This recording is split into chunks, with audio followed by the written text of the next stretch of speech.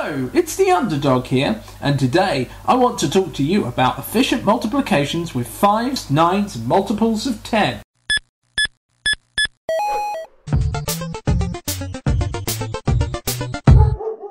Elementary.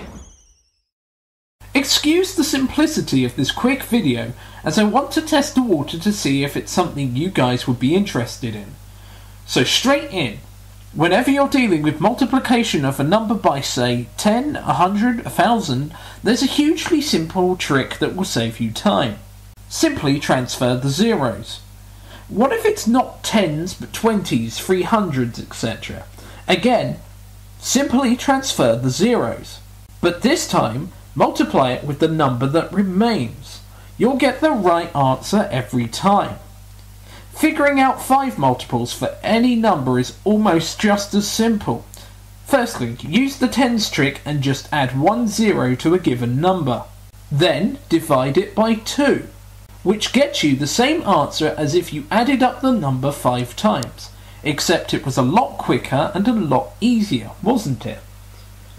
Now, finally, for working out 9s, as you've correctly guessed, we make use of the tens trick. But instead, we minus one amount from the total because 10 minus 1 is 9. But how can we be absolutely sure this answer is correct, especially if we don't have a calculator handy? Easy! There's the nines verification trick. We'll add up the numbers one by one. 3 plus 0 equals 3. 3 plus 8 equals 11 but because we can't have a number greater than a single digit, we do 1 plus 1, which equals 2. 2 plus 4 equals 6. And 6 plus 3 equals 9. And we find that it's 9. This verifies the answer is a multiple of 9. This works with any 9's multiple. I'll show you all the 9's multiples before 100 on the screen to prove that this works. As it so happens, you can use this to calculate any multiple of 9 within the first 10 multiples off the top of your head. Say you have 9 times 4. The first digit of the answer is 1 less than the multiple, so in this case it's 3. We know the second half has to add up to 9, so we know the counterpart to the answer is 6, because 3 plus 6 is 9. We know now that 36 is a multiple of 4. Let's try it again. 9 times 9.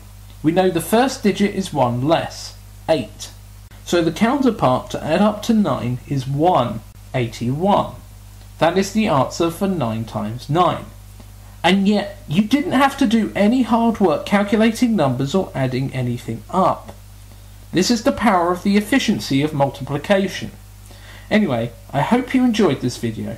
If you want to see more, leave a comment saying so, and be sure to like and subscribe the video if you haven't already, especially if it's helped you out. This is the Underdog, over and out.